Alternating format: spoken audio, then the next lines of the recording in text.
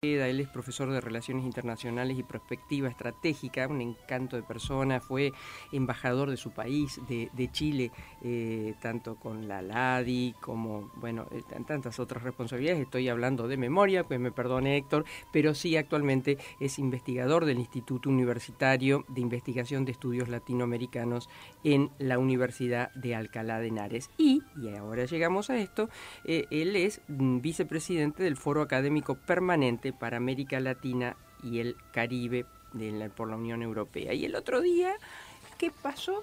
Bueno, sucedió que hubo 24 horas, como una maratón mundial de futuro. Héctor, ¿cómo estás? Buen día. ¿Qué tal, Herminia? Muy buenos días, muchas gracias por este, este nuevo contacto. Bueno, siempre es un placer. Bueno, contanos sobre esta, esta maratón que hubo eh, para, para pensar el futuro, para los desafíos globales, para, eh, bueno, para los riesgos que también hay, porque por ahí uno escucha eh, por las guerras que tenemos, decir, bueno, en cualquier momento esto estalla todo por el aire. bueno, contanos que, a qué conclusiones, en todo caso, ese Día Mundial de los Futuros arribó. Sí, eh, bueno, muy, muy interesante esto, Herminia, porque mm, una, un grupo de organizaciones que se dedican a la perspectiva estratégica global, eh, que es eh, el Millennium Project al cual yo pertenezco, pero también está la World Future Studies Association, la Asociación de Futuristas Profesionales, en fin, la, hay, muchas otras organizaciones y, universidades que, sobre todo después de la pandemia, y viendo cómo la pandemia se nos vino encima y supuestamente no nos habíamos dado cuenta de lo que venía, eh, ha habido como una revitalización de lo que son los estudios de futuro, la perspectiva estratégica, la aplicación de una serie de metodologías que permiten, por supuesto, no adivinar el futuro, pero sí reducir la incertidumbre, crear escenarios a través de los cuales eh, se puede visualizar lo que podría ocurrir y qué medidas se pueden tomar hoy. Y, y en ese contexto, lo que tú mencionabas, la, el, el 1 de marzo, desde hace ya 11 años, se está celebrando el Día Mundial del Futuro. Ah, y, que ahora le hemos llamado eh, en realidad el Día Mundial de los Futuros. ¿Y por qué en la plural? verdad es que puede haber varios futuros y, hay que saber eh, visualizarlos. Y ese Día Mundial, entre otras celebraciones que se hacen en distintas partes del mundo, se hace esto que tú señalas, ¿no? Una maratón de 24 horas continuas de conversación abierta, sin agenda, eh, donde puede participar cualquier persona, no tienen que ser ni académicos, ni futuristas, ni profesionales de, este tema, cualquier persona que sienta inquietud por lo que puede pasar y que quiera escuchar también a expertos que suelen entrar en esta en esta conversación continua puede entrar cualquier persona como digo y se va repitiendo eh, empieza esto a las 12 horas del día del mediodía en Nueva Zelanda y se va avanzando hora, hora, hora, hora, hora, hasta dar la vuelta completa, 24 horas. Y tú te puedes entrar en cualquier, eh, puedes entrar en cualquier momento teniendo la conexión del Zoom que, que se proporciona, pero además eh, se establecen ciertos eh, segmentos por usos horarios. Entonces, por ejemplo, cuando son las 12 de Argentina es cuando sobre todo puede entrar, no es que pueda, pues, ya digo, puede entrar cualquier persona en cualquier momento de las 24 horas, pero específicamente se puede ver de que Argentina, y esto además es en videoconferencia, pueden entrar eh, todas las personas de Argentina que quieran organizar su propio coloquio sobre el futuro, al cual asisten además todos los otros de todas partes del mundo. Y, y bueno, es muy interesante porque luego de esto, se hace un, todo esto se graba, luego se transcribe y luego se hace un eh, compilado de cuáles fueron los temas que fueron tocados, de qué manera, con qué profundidad, y todo esto se hace un informe que se envía a los organismos internacionales, a las universidades, y se publica además en la página de estas organizaciones.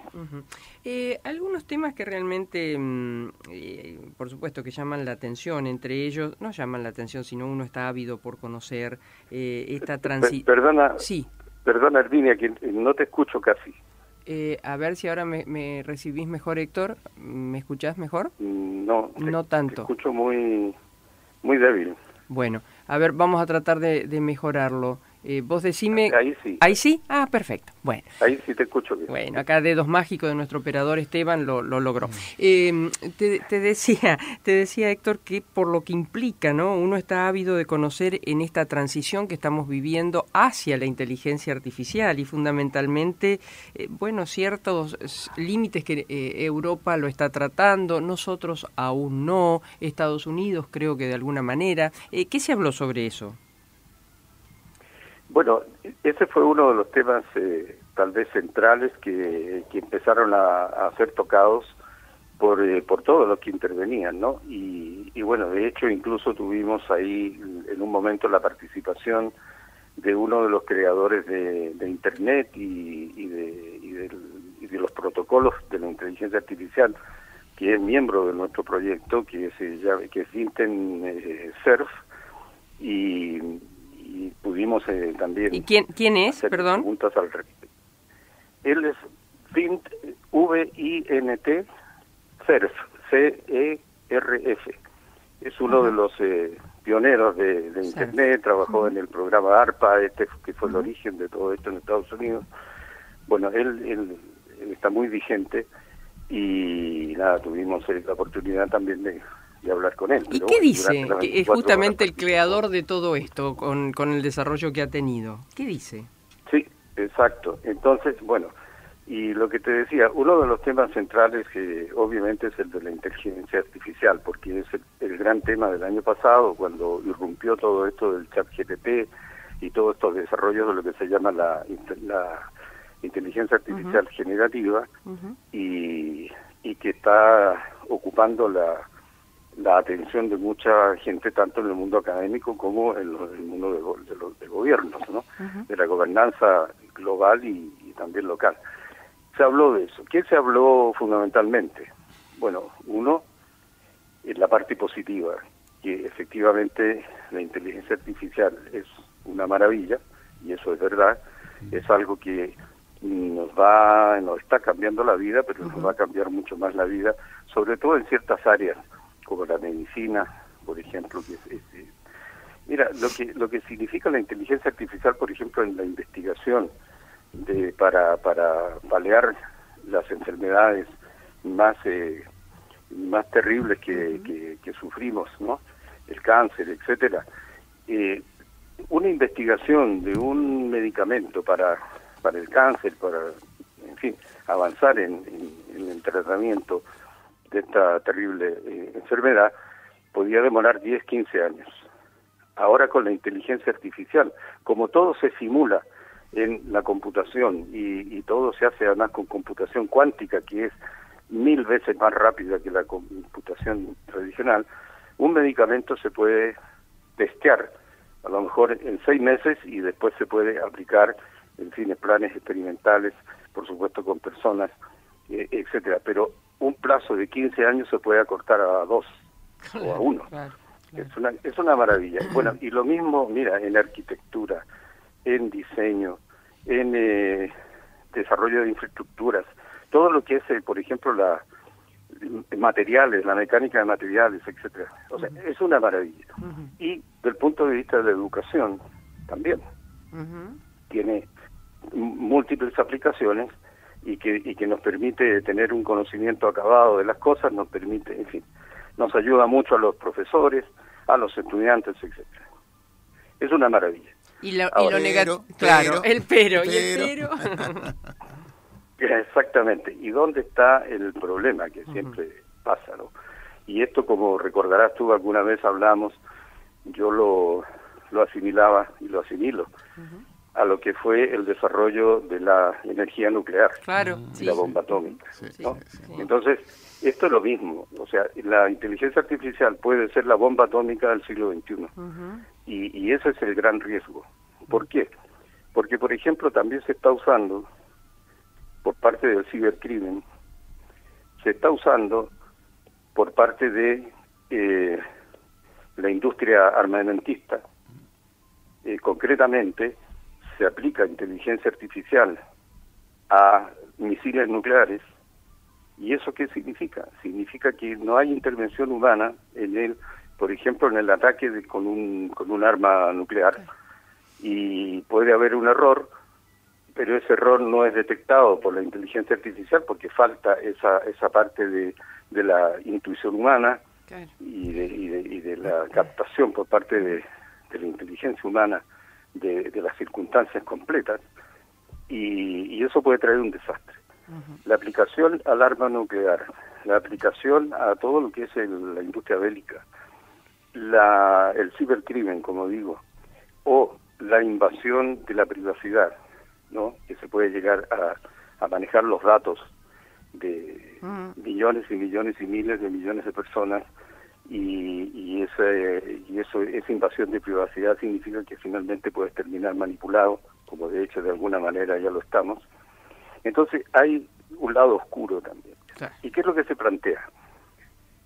Se plantea que tiene que haber un proceso de regulación del desarrollo de la inteligencia artificial, tanto la actual, que se llama inteligencia artificial eh, limitada, por decirlo así, que es, eh, es la que estamos usando actualmente, que ya es, muy importante, pero viene el desarrollo de lo que se llama la inteligencia artificial general. ¿Qué significa eso? Significa que hay una eh, eh, cooptación, por decirlo así, completa de la vida humana por parte de algoritmos y por parte de lo que es toda este, esta herramienta. Mm. Y eso es enormemente peligroso y por lo tanto lo que se plantea es que tiene que haber ahora ya un eh, proceso de regulación global, no es que cada gobierno vaya haciendo una regulación y una ley, que está ocurriendo un poco eso. La Unión Europea acaba de sacar su ley de inteligencia artificial, pero por ejemplo, esa ley regulatoria de la Unión Europea no incluye todo lo que es la industria bélica, lo cual obviamente es una cosa muy limitada y muy peligrosa. Entonces, finalmente, ¿a qué, ¿a qué se está apuntando? A insistir con los organismos multilaterales y concretamente las Naciones Unidas para que establezca primero una agencia de inteligencia artificial que monitoree, que regule y oriente el desarrollo de esta herramienta. Como existe, por ejemplo, la Agencia de la Energía Nuclear, que si bien esa agencia no ha impedido que se hayan creado los misiles nucleares, tiene una labor de vigilancia, de alerta temprana cuando esté ocurriendo algo indebido eh, de acuerdo al derecho internacional. Y, en fin, lo que se está planteando es que en el mes de septiembre de este año, la, en la Asamblea General de Naciones Unidas, junto con la Asamblea, se va a desarrollar algo que se llama la Cumbre del Futuro, y que en esa Cumbre del Futuro los jefes de Estado se comprometan a crear esta agencia a crear un sistema de monitoreo de la inteligencia artificial y además de todo lo que es el desarrollo tecnológico. Porque eh, esta revolución tecnológica que estamos viviendo, que una expresión máxima hoy es la inteligencia artificial, pero no es, no es solo eso. Es sí, y el futuro del trabajo, Héctor. claro, y entonces las implicaciones que tiene para el futuro del trabajo. Eh, hemos hablado de este tema en alguna oportunidad. ¿No? los bolsones de desempleo que se van creando por expulsión, eh, en fin. Así, que este, este evento... Sí. Sí. No, no te decía. ¿Qué, ¿Qué, otra cosa preocupa o ocupa del futuro? ¿Ocupó en o va a ocupar? Está 24, en esas 24 horas. Sí, otra, otra cosa que ocupó fuertemente fue el tema de la seguridad eh, colectiva, la seguridad hemisférica, mm. eh, debido a la guerra. Es decir, esta irrupción de pronto de dos guerras que ahora las guerras eh, no son de alcance limitado, sino que son guerras que de todas maneras, por mucho que estén en un determinado teatro de operaciones, esas guerras tienen una repercusión global. Entonces, la guerra de Rusia contra Ucrania o la de Israel con Hamas eh, ocuparon mucha atención en lo que respecta a la regulación, también la gobernanza global, que permita, eh, por ejemplo, mediante una reforma del Consejo de Seguridad de las Naciones Unidas, eh, poder incidir más en la prevención y en la contención de estos conflictos bélicos. Eso ocupó también una importante porción de, de las conversaciones. El futuro del trabajo también, una preocupación por el futuro del trabajo, que ya el futuro del trabajo ya es hoy, ¿no? Claro, eh, claro. estamos viendo lo que está pasando y entonces ahí uno de los temas que se ha planteado, que también lo hemos conversado en algún momento, es que eh, la comunidad internacional y la comunidad nacional se tiene que preocupar de que ese gap que se produce por expulsión del, del del mercado laboral debido a la sustitución de la mano de obra intelectual o mano de obra física eh, por parte de la inteligencia artificial, por parte de la robótica, que ese gap, esa expulsión, esas, esas personas no pueden quedar desatendidas.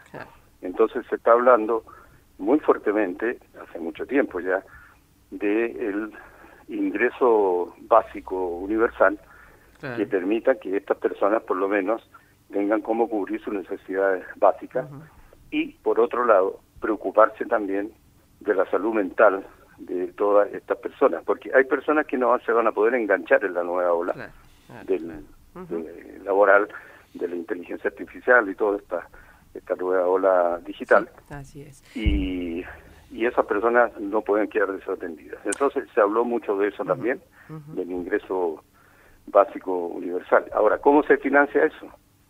Que fue otra de las preocupaciones. Si los sistemas, por ejemplo, con el tema demográfico, que fue otro tema que se trató, el tema demográfico es uno de los temas que, respecto de los cuales el futuro está bastante claro. Eh, al año 2050 vamos a tener 2.000 millones más de, habitantes en el mundo, pero estos van a estar en los países de menor desarrollo, fundamentalmente.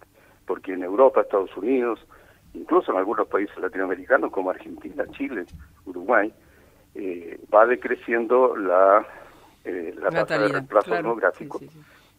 Y, y, eso significa que no se va a poder eh, eh cubrir los costos de la seguridad social, cada vez va a haber más jubilados en proporción a, las personas activas, etcétera. Entonces, el reto demográfico fue otro de los temas que eh, tienen que ser eh, tratados y, resueltos.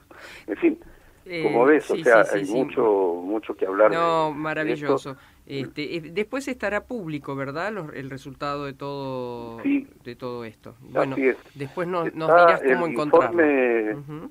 Claro, el informe del año pasado, del, futuro del año pasado, ya está disponible en, en, la página web del, del Millennium Project y pero bueno yo te lo puedo hacer llegar por perfecto perfecto. eh, Héctor encantado y una vez que salga el de el de este año eh, también. Claro que sí vamos a estar ansiosos de ello. Gracias Héctor un abrazo muy grande. Cómo está el tiempo en Madrid en este estás en Madrid verdad bueno en este momento mucho frío. Mucho frío.